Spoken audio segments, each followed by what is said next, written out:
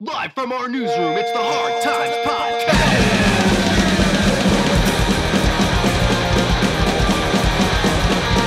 With Bill Conway and Matt Saincome.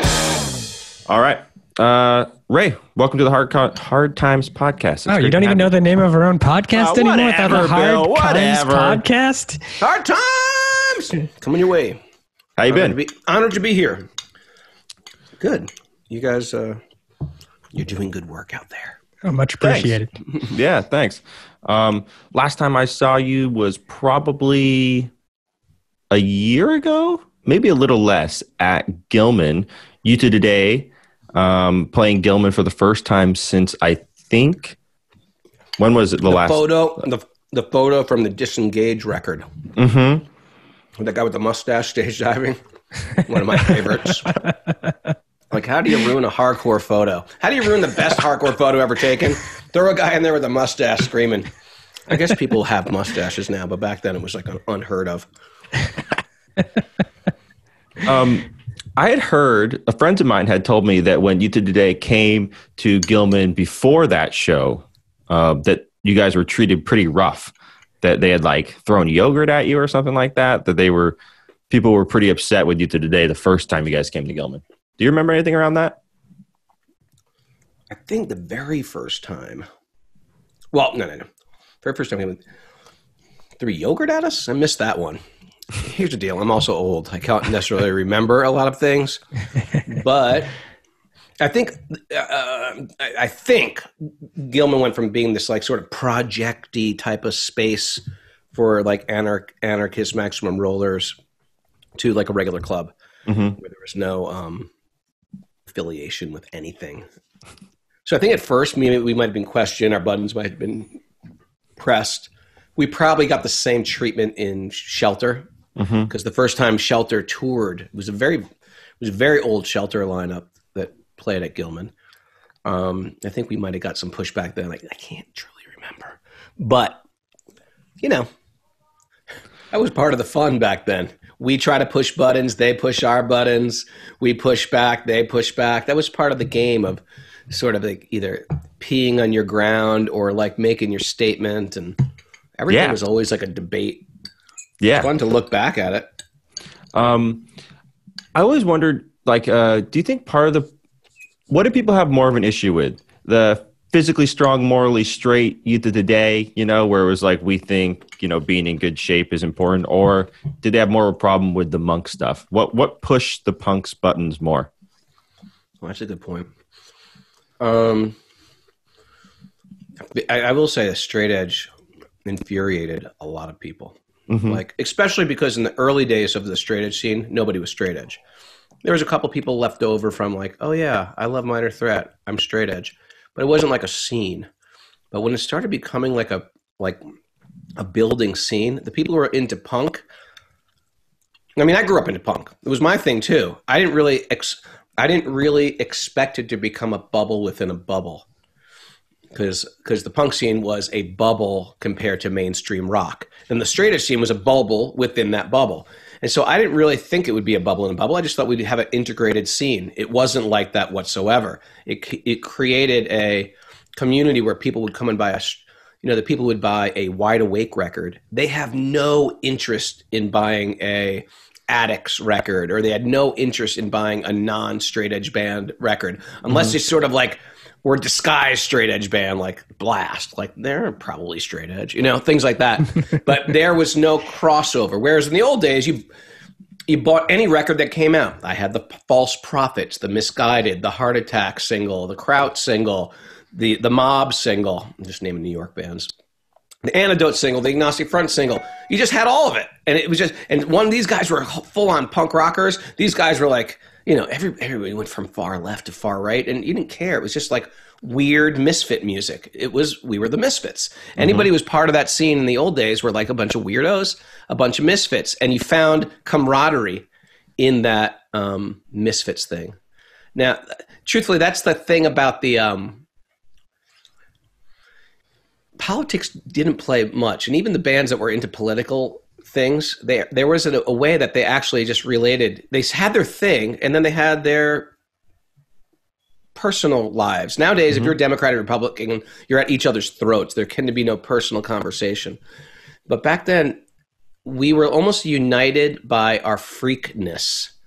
Does that make sense? Yeah, united by freak, united by freakdom. So when straight edge came along, which was very clean cut, very, and I didn't plan this at all, and I didn't even necessarily think it was a good thing. It became a scene within a scene. You were just interested in other straight edge bands. There could be a great band out there, but if they weren't straight edge, people wouldn't buy that record. So that sort of was a little sad. It, it- there was not that much integration. So, um, so that definitely pushed people's buttons. We definitely got pushback, yelled at, hated on, um, ostracized. It's kind of And fun then- when you leave the show and you're in the van and you're all laughing about it afterwards, though, right? Um, it depends if it was like a fight, if it was, if it was like a physical confrontation, or just like a hamburger on your windshield. and then the Krishna thing was just so bizarre for most people. I mean, nowadays, like Krishna and Bhakti, it's a very, you know, I, I teach it in the in the yoga scene. It's not that it's not as weird and culty anymore because most people don't live in an ashram. Most of the community that are into Krishna are family people, people with families and stuff like that. So I, I'd say from my time, from like '88 back to like the '60s when the Krishna started in the West, it was very culty. Mm-hmm. So you have basically fr- more freaks, but but but but but they're so far. I mean, plus before internet, so you know we didn't have many people looking in walking out around in robes. It was just a very it was more weird freaks, and you and you can spin that into well they're a cult, and and we know of other cults. There's Jim Jones. There's all these cults out there. This is just another cult.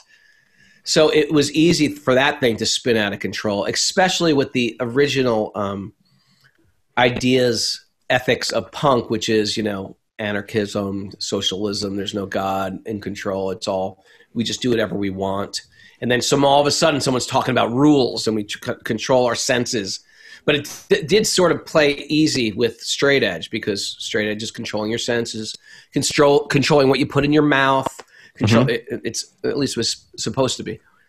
Um, so anyway, punk was another. I mean, Krishna was another completely weird oddball to add to an already oddball mix, which is why some people would be like, "Okay, weird. Okay, Krishna, whatever," you know. And, and some people it resonated with. Some people liked the music, but like never. And then some people would be like, "This is just repulsive." I love it, dude. That's when uh, I saw Shelter in Berkeley. We we helped promote that show too at Thank you, hard at times. like a at like a was that, was that like a half bar place, which is fun too. It was like the I forget what it's called, like brewery or whatever. I Um, remember it was fun. Man, when the lights go out and then there's chanting and then there's like incense Something burning magical happening, isn't and it? And then the music hits. Holy shit, was that cool? It's And a great, I- it's a great intro. You know, that's um, ancient. It's actually ancient chanting. Um, they they say it's before recorded time. These these mantras. It's some of the oldest prayers, and the Sanskrit language is so beautiful. It's basically like chanting in Latin, but it's all beautiful poetry and prose, and this very weird pitch that almost sounds like it's not from this planet. I'm gonna take us out, you know, and so then when that comes in, with the incense is burning, it's like, where am I? It's got that. You know what makes punk great? It, it's when it gets a little scary. Mm-hmm. When it gets a little weird, like what the hell is about to happen here? Who are these guys? you know, like the Misfits get on stage or Agnostic Front, you know, in the in the day and stuff like that. There was always an element of like this is scary, and that's, that's sort of maybe maybe what attracted us to punk. I remember my first hardcore show ever. I almost got the crap kicked out of me. I, you know, I saw a stage dive for my first time. You know, I, I, people were jumping on the stage. someone someone was messing with you at your first show. oh yeah, first What- show. what show- what- I don't show even know it? who it is. I even know who it was. John Watson. It Calling was, him um, out, the- you motherfucker. Yeah, call- no, I, lo- I love him. He was he wasn't calling me out. You know what he was doing, my friend?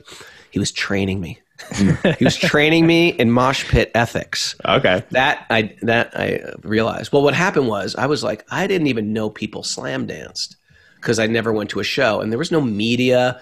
I had no older brother. There was just one kid in the scene who was a little older than us, so he just made up things. And he's like, no one slam dances anymore, and n- none of us went to shows. he's like, that's slam. That's from the '70s. No one does that. So I went with a, a girlfriend of mine to CBGB's the night before. Like I didn't even know there was hardcore. I thought it was all like after the Sex Pistols, it's just crazy stuff and it's all open, wide open. So anything from the band, you know, ABC. Do you remember ABC? The look Mm-hmm. of love. From ABC to Haircut 100 to the Bow Wow Wow to um, Adam and the Ants to the Sex Pistols to Cockney Rejects to UK Subs. It's all uh, to Black Flag. It's all to me in my sitting in my nest in Connecticut. It was all weird stuff. It wasn't ACDC. It wasn't Rush. It wasn't J. Geils band. It was weird stuff. And so um, I just would go to New York City. And I had older brothers that lived in New York City, and my parents from New York City. So I just go to New York City and hang out. My parents were completely cool with it. I was like 14, and they'd be like, "Yeah, have fun, stay with my, stay with your older brother." But they had no idea that you know New York City in the 80s was, it was like it was a place where you could um, you could get away with murder, literally get away with murder, and the cops couldn't care less. There's a whole Serpico, the movie, written about it. Everybody was corrupt, and it was, it was such an element of danger. And then to go to a club, I don't know if you remember your first going into a hardcore club. It was so fearful because there's always a bunch of kooks hanging out outside, and you're coming in from suburbia, and you're like, "Oh God, how do I get through all these people? It's so scary!" And you just do it. And so the first show I went, I went the night before. I went to the Ritz, which is now Webster Hall. I think is still Webster Hall. Um, but I went to see Haircut 100. I don't know if you know who Haircut. You might want to YouTube search them, but they are the most like preppy, poshy, dancey. Love, love, love plus one, yeah. But it was it was cutting edge. it was cutting edge in a in a in a rock and roll world. I think I think my first um, punk show that I went to, I went with my older brother, and we went and we saw we saw the Adicts at the Pound in San So Francisco. good for you. Yeah, Good for you. You saw the Adicts. I saw a slightly wimpier version called Haircut 100. but the next day, so we just you know laid out the Village Voice. That was the newspaper of the New York Lower East Side, especially you find what was playing, and some of the clubs you you didn't know about because they were never advertised unless you were on the inside circuit. So that weekend, I went to the UK Subs. The next day, and the Young and the Useless. Which Dude, the UK subs was my first show at Gilman, I think, which is crazy to think that our some of our Yeah, first shows and back line up. Then, and back then, they were. Cons- they were I was like, these guys are so old. They're thirty. they're thirty-five. Who, who the hell would do this at thirty-five years old? What losers? It was going through my head. God knows what kids think of me. they must be like, "Is this retarded? This guy is an old man. He's still doing this." Dude, when I saw the UK subs, they must have been fucking sixty or seventy. It was You sick. know what? Yeah. Warhead, brother. Warhead. Well, I didn't even know who they were. I just know the name sounded punk and the young and the useless. That's how green I was. I didn't know anything. I didn't know anything. Um, I went to Haircut 100 the day before. Need I say any more? So, so anyway, I went to the UK subs and I'm sitting at a table with a girl with a drink that I thought you're supposed to buy a drink. You know, I I wasn't straight edge. Didn't even know what straight edge was, and I was just like, thought I, I, I want to be grown up. I'm 15, I think. they let And, you buy a um, drink. I, in New York, it was New York. They let anybody in. Anybody can buy drinks. You can get your little sister in. So anyway, we're sitting there watching. I'm dressed really punk. I got a long devil devil lock. Bill had one of those. Tren- long trench coat.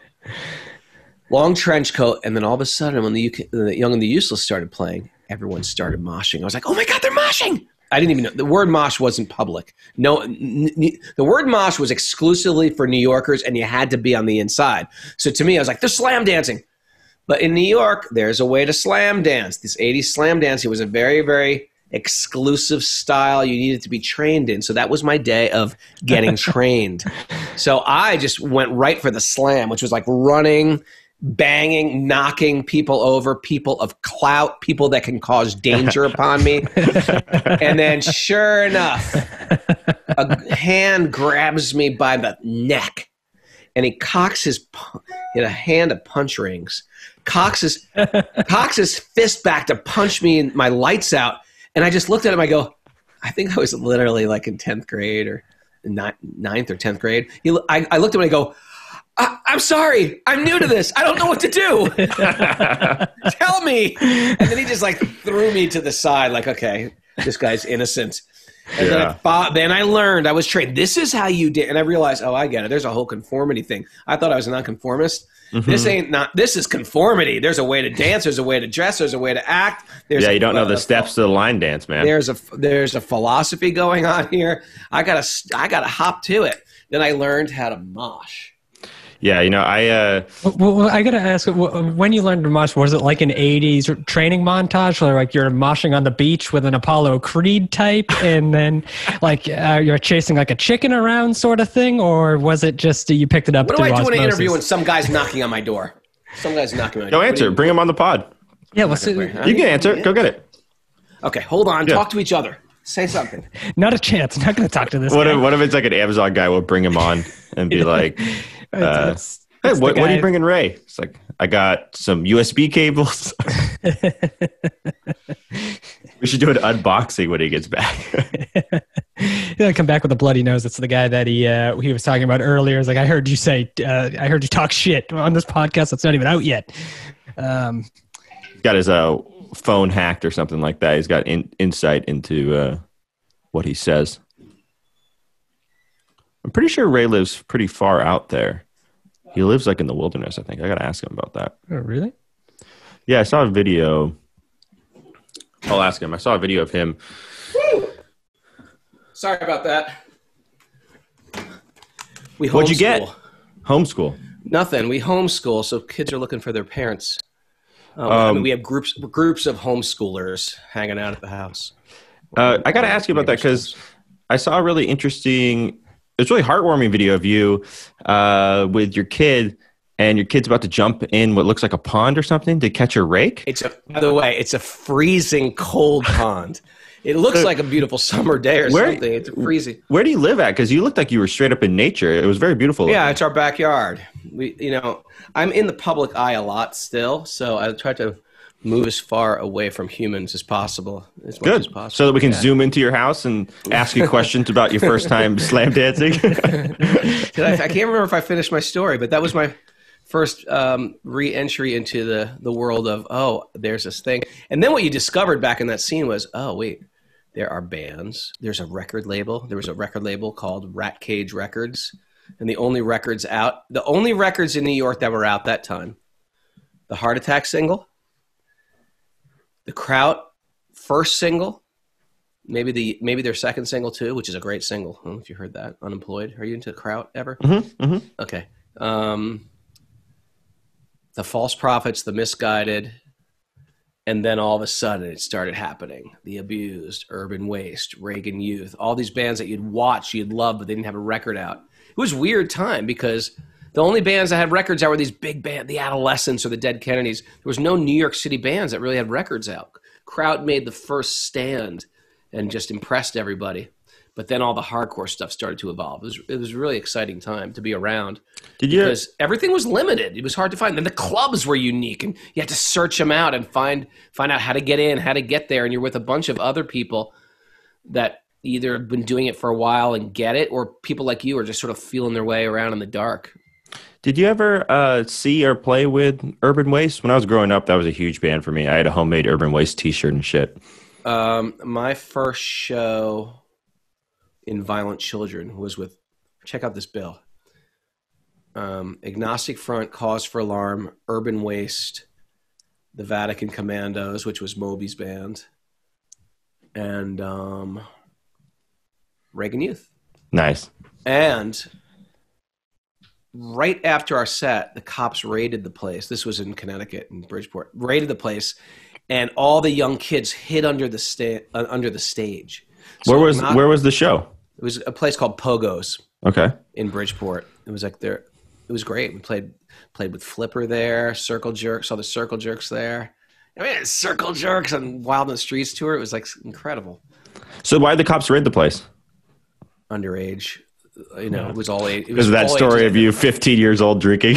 yeah, yeah, it was. Uh, it was. Um, um, yeah, at that point, I think I was into straight edge, but um, it was when they served alcohol in the place, and you had kids. Kids weren't allowed where they served alcohol.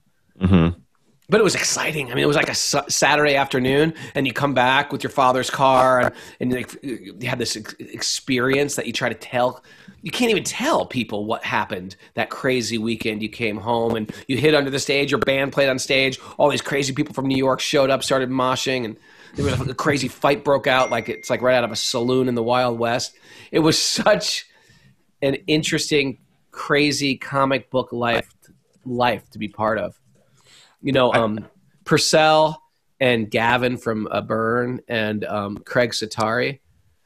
All, I think Gavin's been visiting up here, but Porcell lives up here, and so does uh, Craig. And they called me out to go meet them for lunch, but I was busy that day.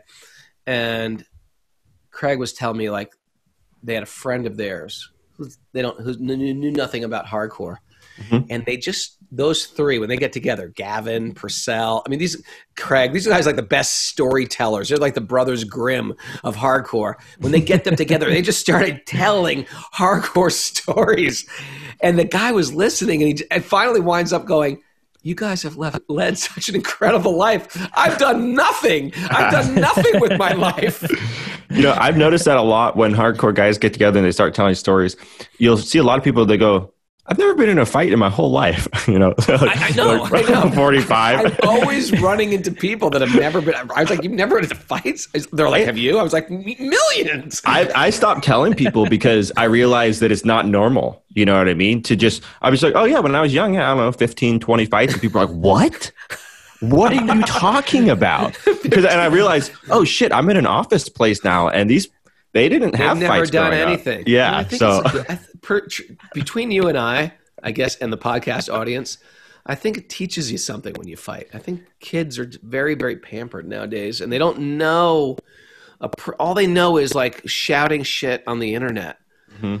my older Well, brother told me, fights, fights kind of teach you that you're like n- not that that you're you're not invincible in a way like that it, it, it lets you kind of figure out your your boundaries or what you're capable of and it's just like oh i got punched in the face i survived now i don't have to fear being punched in the face uh, because i know that what the worst case scenario is here you know and so it just you know, uh, it, it, it, it kept me alive. I think because you learn some street smarts, like Mhm. what not to do, what to do. What it, it gave you street smarts in in when you're dealing with part of the world that's uncivilized. There's parts of a community that are just not civilized. They're not going to play by your good rules. Mhm. You know, and you just learn how to behave in a way that like self perseverance, self. Yeah. What's the word? preservation Preservation. there's, there's definitely some people you can see some videos online of 45 year old dudes who have clearly never been in a fight and they just do these bizarre things where they walk right up to dudes who it's like that guy will fuck you up and they say excuse me sir are you leaning on my car or whatever it's like whoa you have no idea what you're getting yourself into Right. um, right. Right. my older brother told me he was like one of the things you learn when you get in a fight is that you're not made out of glass I think that that, that actually is a lesson you can learn uh, when you're young is like, look, I got punched. Maybe I fell over. Maybe I didn't fall over, but I'm still here, you know, and you don't have to be afraid. My father gave me. My father was sort of like an intellectual bookworm type, and then I I was getting picked on after school, Mhm. like regularly when I was like fifth grade or something. And I was asking, like, what do I do? I'm I get really freaked out and scared, and like a gang of kids would get around me, just pick on me. He said, you know, that happened to me too. My father grew up in uh, Jamaica, Queens. And he goes, you know, that used to happen to me too. And it was really tough. I said, well, what did you do? He goes, I bought brass knuckles. And I just beat one kid within the hair of his life. And I was like, this is the last thing my father would ever, I'd ever expect to come out of my father's mouth. And he goes, and after that, they just stopped messing with me. Yeah. That's crazy. and today i'm going to pass these brass knuckles on to you son Thank you, Father. That's one of the few pieces of advice I remember from my last. My dad always said if we came home and we had any scratches on us, you're like, did you guys get in a fight? You say, yeah. And he said, did you win?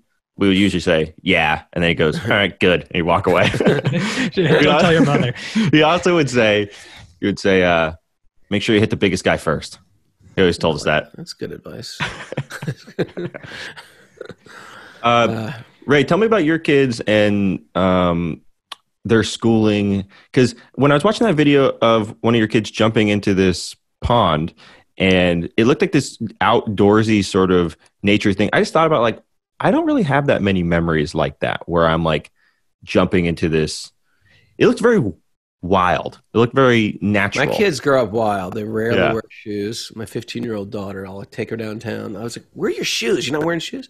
Who needs shoes?" You know, they grew up outside, which is sort of how I wanted to have kids. Mhm. The first part of their life, they went to a Waldorf school, which is you know a 400 acre Steiner school on you know a biodynamic. I don't know what those are. Oh, it's it, he was a guy that created a pedagogy for uh, kids that's connected with nature and spirit. Mm. Um, he's from German. He was influenced heavily by the East. He predicted the bee collapse, uh, um, uh, uh, uh, honeybee collapse. He, pred- he he he called the in, uh, like in the 40s or something. He was calling the um, school that we've created a pressure cooker system Mm. where kids get so much pressure from their childhood they forget how to think and they just Mhm. ha- know how to do and um, they get rewarded and punished for not, for doing he talked about different types of intelligences and he said the best way for kids to learn is to play and Mhm. spend their, all their time spend a lot of their time in play and imagination which means you have to t- take away the media from them because it ruins your imagination and a lot of their imagination starts with storytelling and storytelling it doesn't even have to be from a book. It has to be with, without pictures it comes from me telling a story and then they have to create all that stuff in their mind. Mm. so when you see a movie there it is. You know darth vader's wearing this the stormtrooper wears that he represents good he represents evil.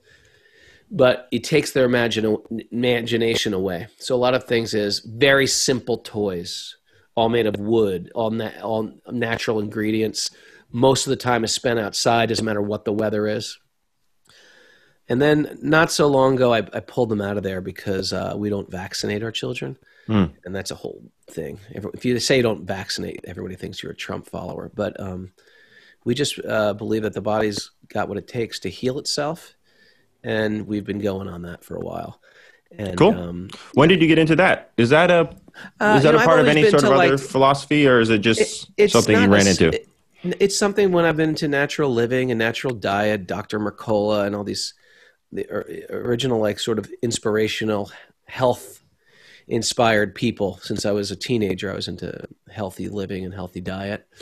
And so, yeah, why inject these things? And it's can I trust big pharma? It's like first of all, I can't even get a straight answer because it's so much dominated by um, uh, big pharma, who's going to give their information on it. It's hard to find what's actually true. hmm You'll get people biased on both, or, both, both sides, and it's hard to find some truth. Um, I do know three people who I'm close to that told me straight up when their kids got um, uh, uh, vaccinated, they immediately became autistic.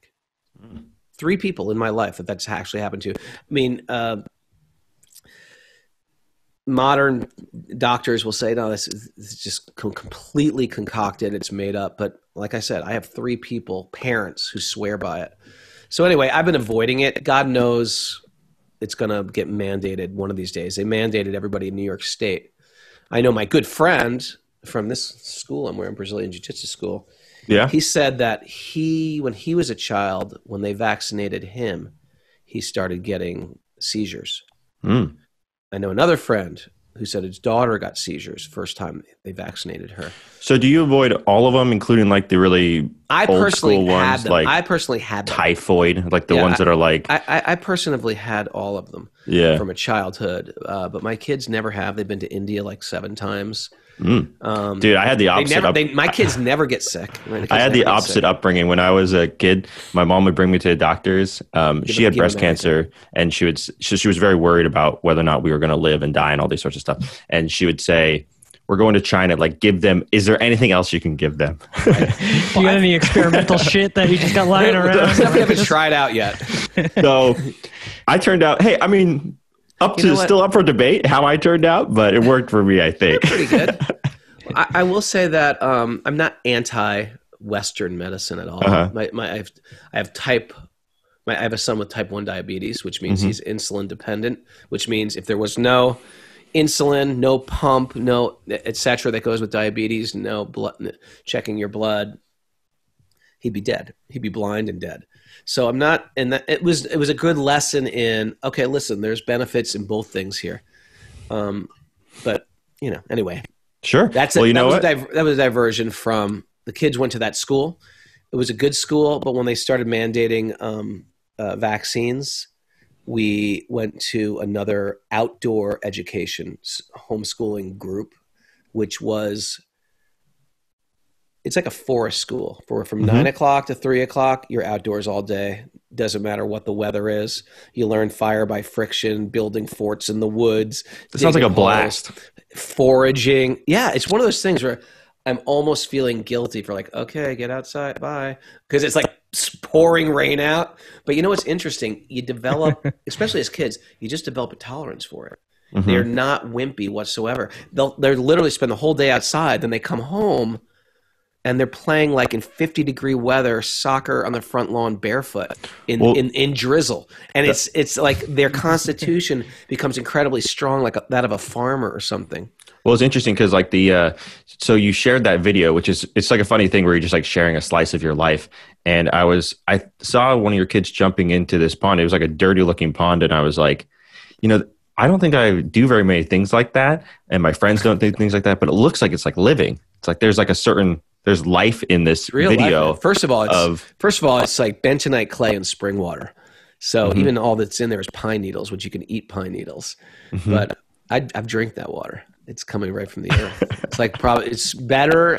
I'd safely say um, it's better than taking a shower in New York City than to spring and to, to, to bathe in upstate New York spring water. Come on, so you know Some views- you're- you're- whatever you're putting on your skin, you're eating, right? So to take in spring water, that's basically ripe water, water that's being forced out of the earth. It's like the best thing. It's like a superfood in itself.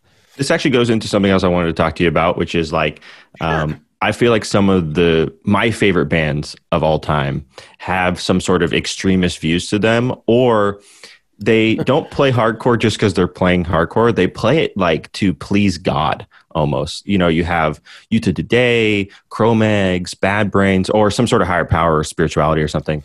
Yeah. Um, and Hey, so is it probably is the origin of music in itself as an offering to some sun god, higher power, even like Vedic music, chants to demigods or God or things like that. Probably the origins of music are inter, probably very much interwoven. I've never studied this. Interwoven with glorifying deities of nature.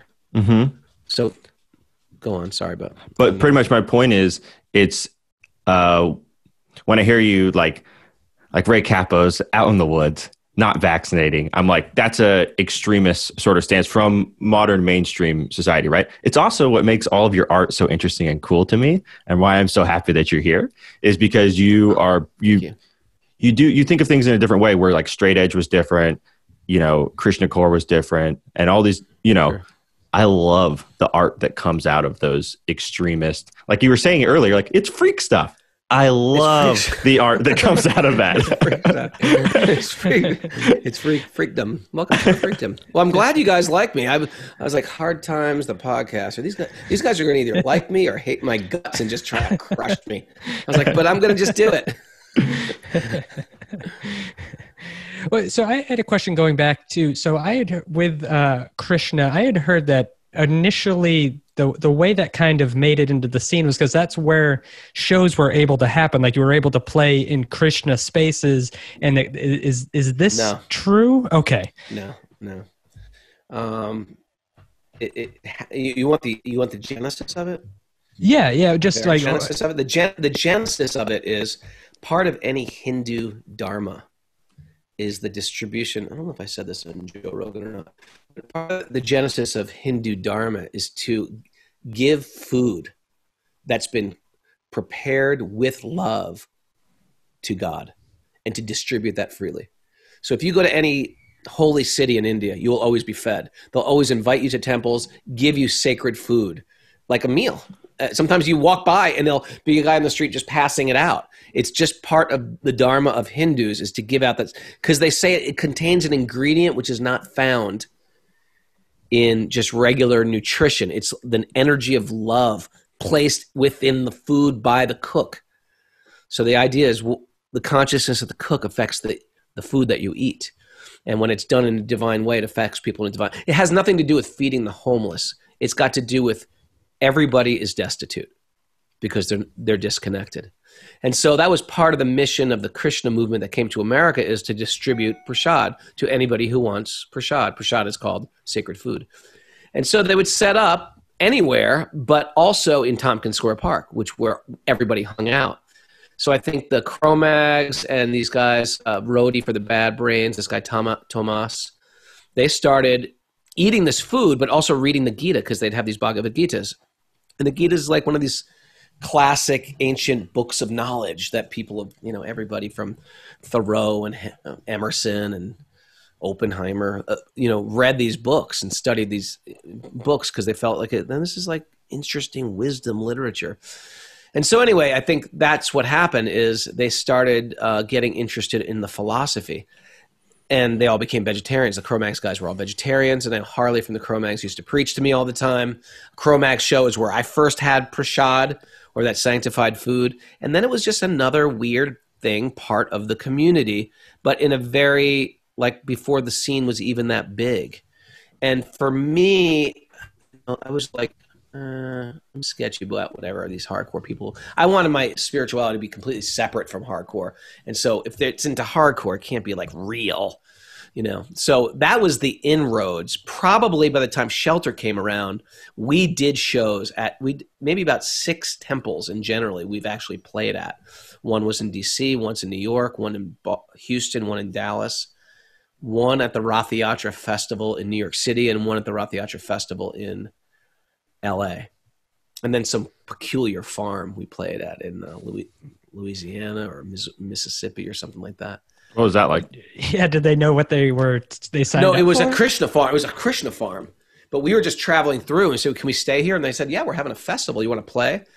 But it was just like the only people were there were a bunch of like little Krishna kids, like eight years old, ten years old. And a matter of fact, Shelter made a tour video, um, and it's funny because they have on the tour video, it's just a bunch of edited clips of our tour. And one, we're playing a song, and then the camera zooms to the audience, and there's a bunch of children just dancing. that that is from that one peculiar show. And there's that oh, one guy from New up. York that is ready to punch a kid in the face, and like, wait, hold on, no. That that didn't happen. There was none of that. It was just us on a Krishna farm with no everyone's just basically a civilian sounded, from hardcore. It sounded like earlier you mentioned uh, taking away the media, um, and then you're talking about moving further out, uh, being in touch with nature, spirituality. I want to know. Is there any like guilty ple- like do you absolutely love dancing with the stars or something? Because you keep going further and further into these subcultures, you know subcultures. Is there something in from mainstream something culture that you just mainstream. love? You know, it's let's see. I like mixed martial arts, but it, that wasn't mainstream. Yeah, it wasn't. You know what I mean? It wasn't. Now it's very mainstream. You know when they first tried to start the UFC, the, the guy who was starting it, his idea was to have the cage electrified. That was like the I've never heard that. You're not getting out of this. Yeah, bring it um, back. Let's let's turn that. Let's let's juice it. Yeah. Um, uh, what do I like that's mainstream? I don't watch so much TV. Mm-hmm and uh, I don't listen to that much music outside of you know Indian. You got Netflix? Is there like a music. is there like some show I've you, got some, binge? I've got some theft one, theft. Yeah. no, let, borrowing someone's password, um, but my kids watch a movie occasionally. But I I don't really watch. Uh, truthfully, at night, I tried I, I tried um, to watch something with my wife. We both I just fall asleep. I'm one of these guys. I'm very hyper all day. Once you sit me down, I'm out. I'm a lousy date. My poor wife. It's like as soon as I get to a movie, I'm out asleep. I just sleep. I go to sleep really early. I wake up very early. Okay, I want to take advantage of the fact that you're here and ask you this uh, this question. I've been thinking about a little bit because you're a guy with a lot of knowledge. Um, a lot of something. I've often I've often thought about. Uh, you know, I'm a business person, right? Bill and I started a business together. We've done a bunch of things, and I've often often thought about each little step creates a, a, positive effect towards your next step where you're like snowballing in a positive manner. Sure where it's like it's not about ever getting that one big deal. It's every day you lay another brick and then eventually you've built this house. And with COVID and all the stuff that's going on, I feel like I'm forced to take a bunch of to do all these negative patterns now. It's like reinforcing all these negative things in my life where it's like I'm not leaving the house, I'm not eating that well. I'm just kind of trapped a little bit. Sure. So my question to you is thinking about when you sometimes you have a positive snowball going and sometimes you have a negative snowball. When you have that negative snowball, how do you break out of that negative snowball? How do you say, you know what, enough's enough? I'm going to redirect that's and start taking question. steps in a positive question. direction? Um, first of all, it's the fact that you're even aware of it is huge because some people are just unaware. They're just getting carried by the ups and downs of the material world.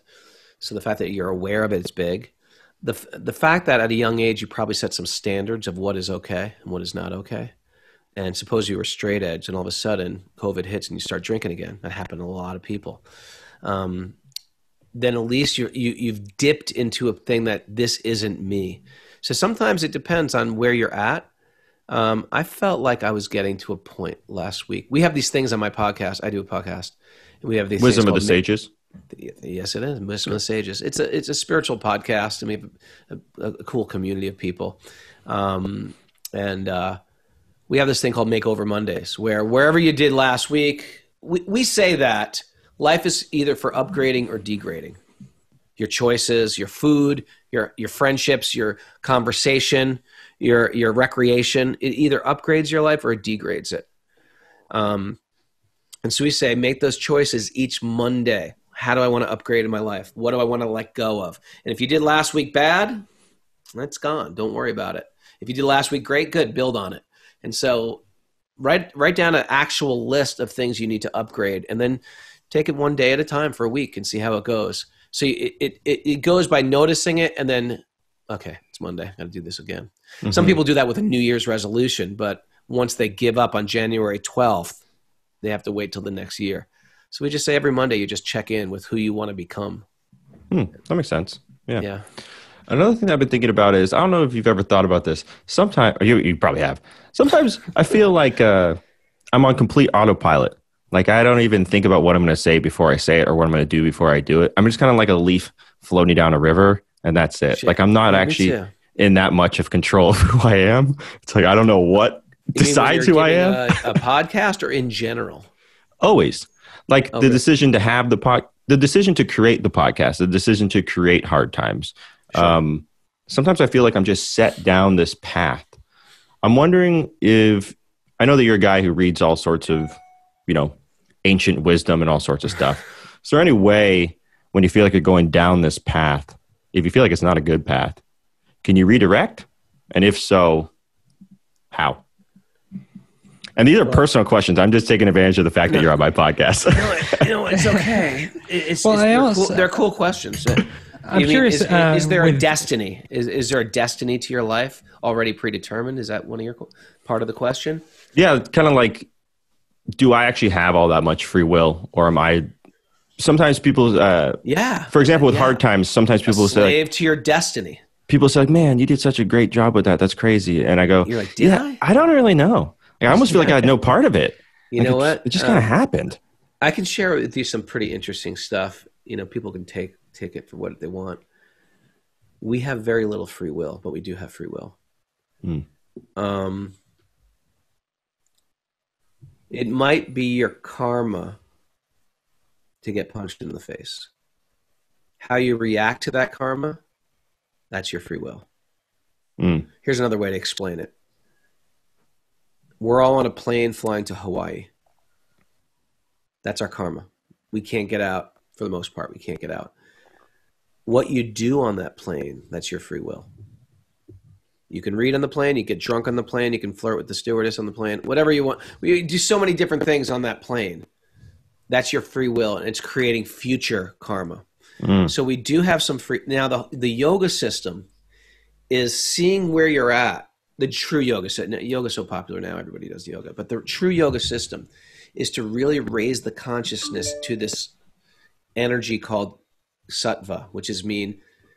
I can give you an example as far as things we can relate to, like addiction. Mhm. Addiction is in a lower grade. It's called tamas. Tamas means you're lazy, you're lethargic, you're in, you're intoxicated, you're you're you're um, self-absorbed, you're rude, you're angry, you're violent. That is called tamas, and when you act in that way, you have very little free will. For example, if I'm addicted to something, even something harmful like heroin, and you say, "Hey, Raghunath, would you like some uh, Ray? I'm sorry, Ray, would you like some uh, organic? Uh, would you like an organic salad I made for you?" The person who's addicted to heroin is going to be like, "No, I don't want freaking organic salad. I want heroin."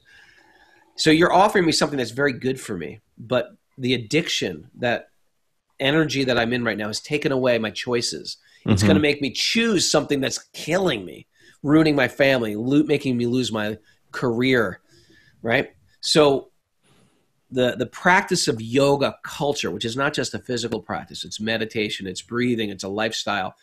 It brings us to a point where we have um, we can think about things a little deeper. Our mind is controlled, just like when a yoga when a guy's practicing yoga poses, and the teacher's saying breathe. Why do we breathe? Well, if you've ever worked out, you're panting, you're in your mind. But if you actually start practicing deep breathing while you're doing something very tough, you actually become calm in a tough place. Mm. It's a great practice for life when you know your kids can drive you crazy or your spouse can drive you crazy or the traffic can drive you crazy. How can I just not be that affected and be so reactive? So this breathing technique is also part of the yoga process. And then what happens is no matter what the world is throwing at you, you just become calm. And the next thing you know, you've changed the way you react to things. So what's happening in the yoga process, it, it gives you you still have some karma, but it gives you options. Now, if I'm in that state of mind, as opposed to addicted to heroin, and you say, "Hey, hey, um, Ray, you want an organic salad?" I say, "Sure." You want some heroin? No, I don't want heroin because I can think it through. I, I thought what heroin does. I'm not Mhm. interested. Are you sure it's free? It's good stuff. Not interested. you know what I mean? That's a So great heroin hookup you got there. Yeah, a lot of good heroin. Free analogies. good heroin. Hmm. Yeah. I've never done it. I don't even know what's good and bad. Thank God. But anyway, so yeah, we have some destiny. And if you study Jyotish, which is uh, Vedic or Indian astrology, it's really amazing. Like I did mine in 1991. hmm It's like reading my autobiography. My girlfriend is huge into astrology. Uh, what's the difference between the astrology people use nowadays when they type it into an app and Indian astrology? Indian astrology can also be done through computers. hmm Um, there's two part. It's more like, truthfully, studying of astrology. I can't speak for Western. It's lunar. ba- It's based on the moon. hmm and you can track major parts of your life in different periods and um, probably similar in a lot of ways but then you have to be able to interpret it well and that, that's what makes a great astrologer. And hopefully the people that you're giving it to you're assisting them and not just making them depressed or angry or something like that. There might be very very obvious signs that say there's going to be massive loss in your life this year ray. And um, a good astrologer would say this is a great time to get internal there's a great internal period of your life you know instead of saying you're going to lose everything that you love yeah. Watch out, motherfucker. but i will say i've been to many astrologers and it's uncanny the stuff they know I want to ask you something. I feel like I probably am misinterpreting this and I have a kind of a negative mindset on it, but I want to ask you about it. When you talk about karma a little bit, you're talking about uh, we're on a plane to Hawaii and like we don't really, seems like we don't really choose that destination. Maybe we can decide which seat we, we sit in. Um, did I do something to get sent to Hawaii? And if someone's on a plane to a very, very dark place, is there some sort of thought process about why their karma is sending them to that dark place? And if there is, have you ever thought about how that's a little you could almost like look down on people who are doing really poorly in their life because it's like it's like their karma is sending them down this bad road. our job is good that's a great question it's a common question too because what we're seeing is you know um, for example matt we see you in this life right now you got a beard and you're a successful businessman and podcast Let's not go nuts. So don't compliment him too much here. Uh, he's, he's passable as these things. But this is um, in the in the biggest picture of your spirit identity. This is just one thin page of of the many identities you've had, and who knows what you did in your previous life and what you did in the who knows what you've done in lifetimes past, and who knows even what you've done, you know, five years ago or ten years ago. I mean, I've done a lot of crazy things before I even realized, like, oh, you shouldn't torture animals. That's not a good thing. You know, like I did when I was a, a fisherman. You know, you shouldn't do that. That's that's a bad thing. So I've done horrible, cruel things in this lifetime. What to speak of lifetimes I can't even remember, and everything evens out. Now that might sound um, callous when there's pain, Mhm. but for us, it's our job not to be callous. Our job is to be sensitive for when people are in pain and be empathetic and compassionate to them. Our job isn't to say, "Ah, it deserves you right. It's just your karma." Mm. But imagine if, whenever there was some pain in your life, some heartache in your life, or some loss in your life, you say, "You know what? I might deserve much more than that." Mm. What, I mean, if, is it a better option to blame your circumstance or to blame others for your pain? Because any good therapist will say you're not going to heal from that. Any good therapist who's worth their degree is going to say, you know what? What's your responsibility in this? How can this be avoided in the future? A good a good therapist is going to take you to a place of trauma and and show how that affected your choices to get you in this problematic situation very often. Why you chose that alcoholic spouse. Why you keep letting abusive people in your life. They're going to take you and make you accountable. Any good mm-hmm. Western therapist. And the problem in the East, they'll just take it back again. They'll say, "Oh, you, I, you know," in the in the West, they'll say, "Well, you had an abusive father. Um, that's why you're making all these bad choices towards men, or something like that."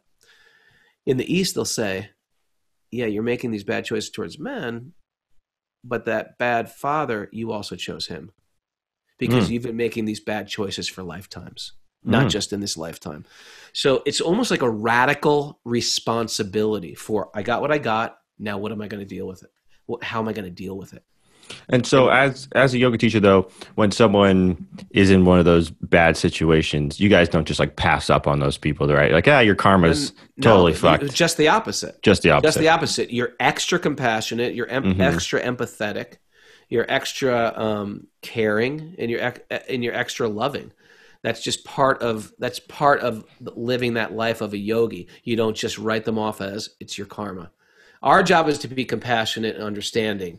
Uh, but when we have some pain happen to us, we just think this is my karma.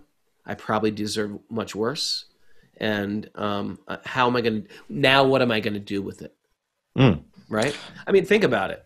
Our suffering very often comes from blame. Our, we blame others for our pain. It's a very common thing, and we live in that blame.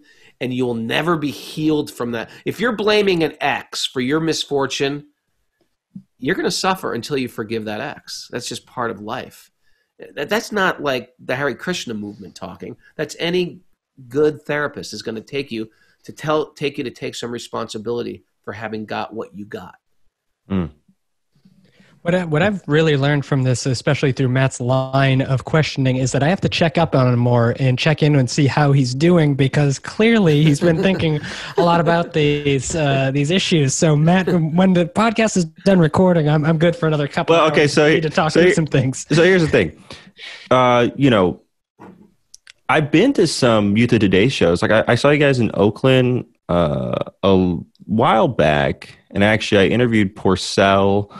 And there's been times where Ray's said stuff on stage where I go, hmm, really like changed my perspective on something like a, you know, train your brain to see each other as one family, that sort of stuff. I go, hmm, All yeah, that that makes that makes sense. You know what I mean? Like you should look at your neighbors like a, a, a piece of your extended family. So if he's on my podcast, I'm going to ask him some questions. All right, you you go away. You keep going, man. uh, yeah, it's because I, I think a lot about a lot about some of these things because I see hardcore as like a place with a ton of philosophy in it, but you're one of the characters who really dug in and sought philosophy from around the world uh, that might be helpful. A lot of the hardcore philosophy is really interesting and fun, but it's also home to some like kind of I like radical stuff, but hardcore and punk has also been home to some really bad ideas, some really detrimental ideas. Uh, and uh, I feel like straight edge um, and that whole scene because I am straight edge. I feel like there's a lot of really good philosophy in there. So I definitely connect with a lot of it. Also, a lot of like the DIY stuff because I'm I, I do a bunch of business things. So I'm I'm always thinking I'm always thinking about this stuff.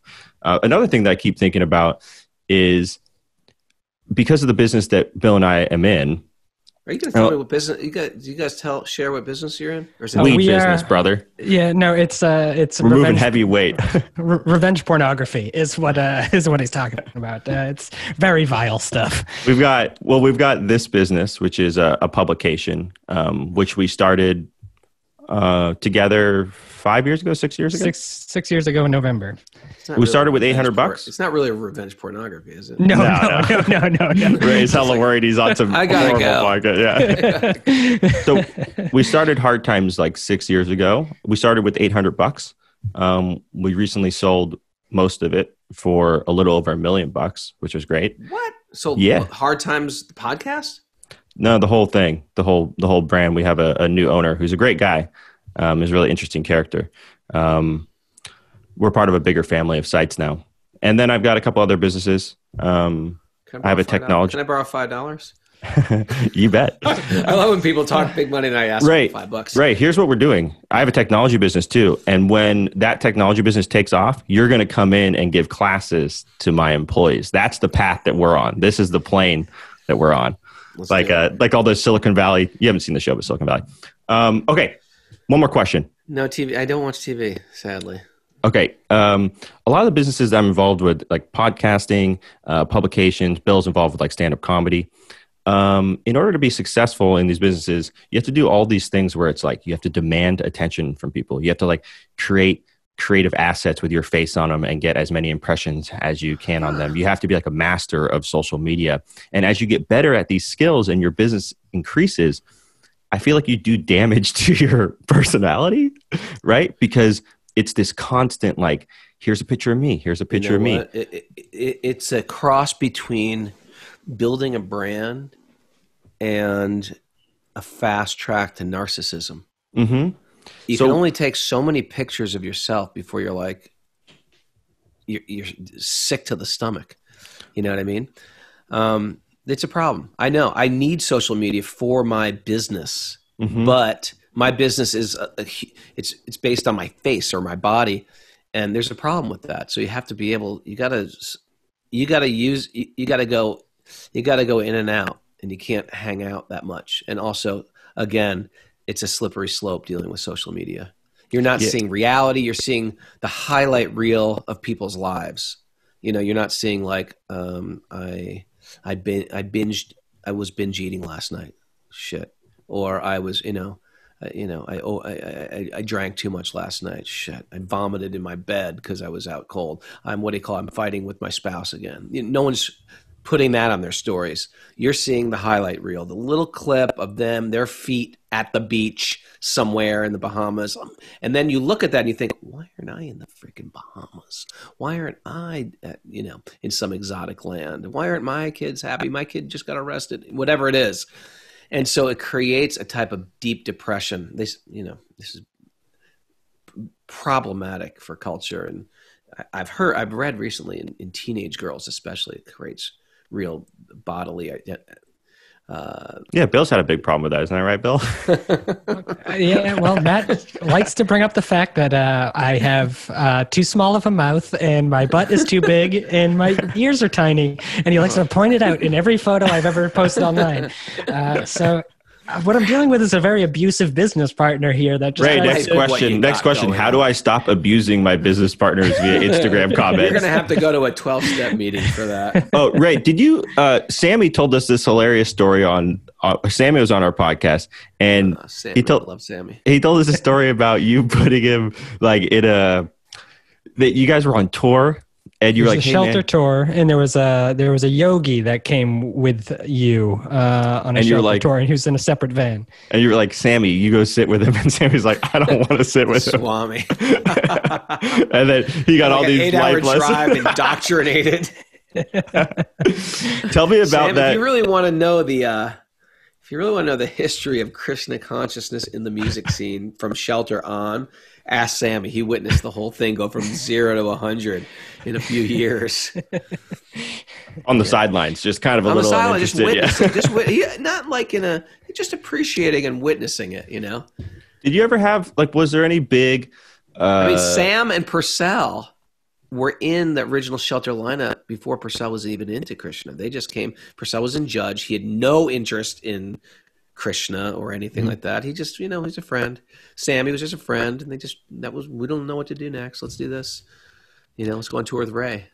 Was there ever any um, tension between injecting so much philosophy and spirituality into some of these projects, uh, or were, were your guys ready to go? Were they troopers? Um, with Shelter, that was the game. So Mhm. either you're into the game or you weren't. Mhm. And um, you know, Shelter started as my final record. That was that was supposed to be my final record to the world. I'm leaving the world, and it turned into a whole full-on band. With Youth of Today,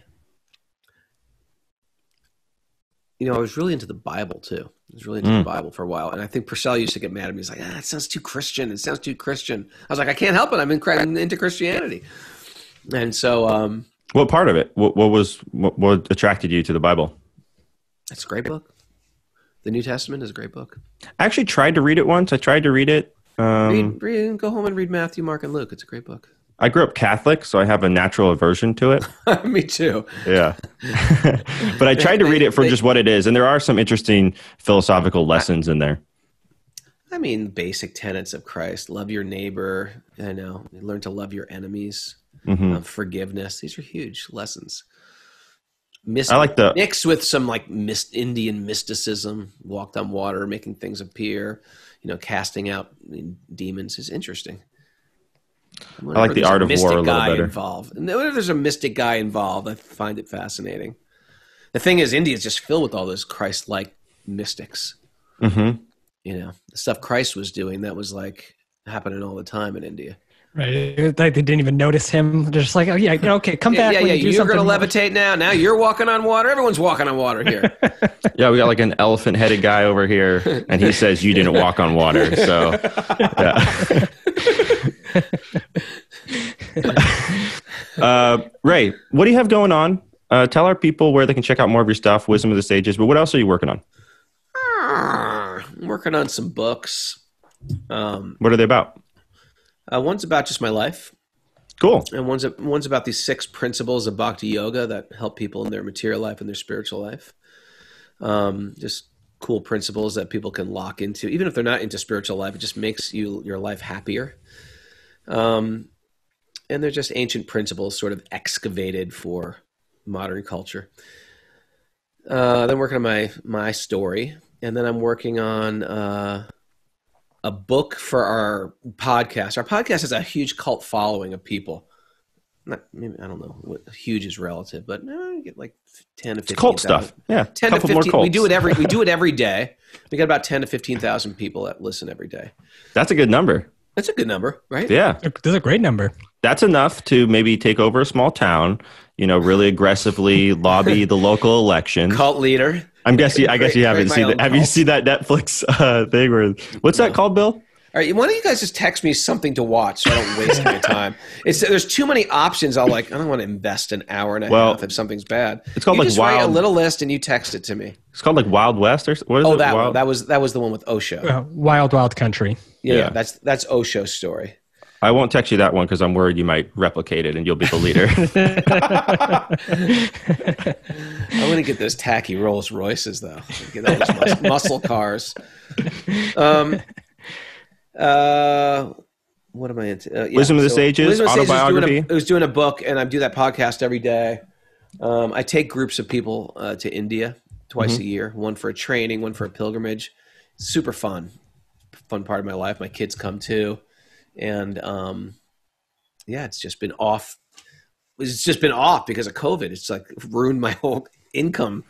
So yeah, yeah. A lot of anything that had to do with live events got hit pretty hard. I have a question yeah. that just popped in my head. I think I feel I feel like I saw a picture of you one time uh, on one of these pilgrimages playing a, an instrument, but I feel like it was like an eight. It looked like an you know traditional Indian instrument, and you guys were all chanting. But I feel like you had a sticker on there that said DMS. Am I right about that? Delhi Music Shop. I know. Every, every hardcore kid knew, was thinking, what?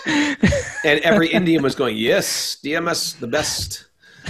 Del, Delhi musical store, Delhi music stores. But Okay, yeah, I- it's my it's my harmonium preferred harmonium of choice. I'm glad you, you clarified that. I was like, that is a really interesting uh, contrast of philosophies there. That's great. Everybody says that. All right, uh, Ray, I can't thank you enough for coming on the podcast. Please come Great. back soon. And Keep up the uh, good work, guys. yeah, when you when you get the uh, when you get the Glad books you done, you should come me. back That would have sucked, or or it might have been more interesting. we're two straight edge hardcore punk kids. Why would we hate you? Well, they didn't. They didn't tell me that. Well, a lot of straight edge kids hate me, and a lot of uh, hardcore kids hate me. It's just like the world I deal with. Either people, are pretty, you know, they're pretty respectable, or they want to kill me. We make fun of a lot of people, but we make fun of them because we love them and because we're huge fans of the music. So, um, uh, yeah. So let us know when your autobiography comes out, and you can come back on and, and tell our people about it.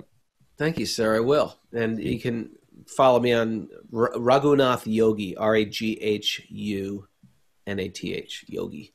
That's that's me. That's my that's my brand. That's my name now. People know me by. No one knows me as Ray anymore. It's pretty interesting. If you know me by Ray, that means you're from my past life, sort of.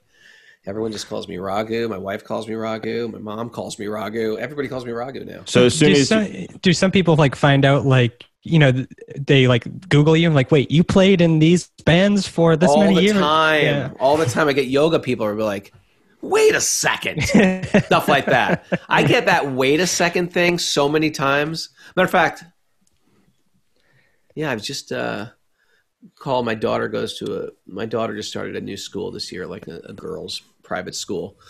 And uh, I was talking to one of the faculty members, and he's like, "Okay, thank you, Raghunath, for calling. Really appreciate it." And blah blah blah. He goes, "I got to ask you a question." do you know or are you Ray Cappo?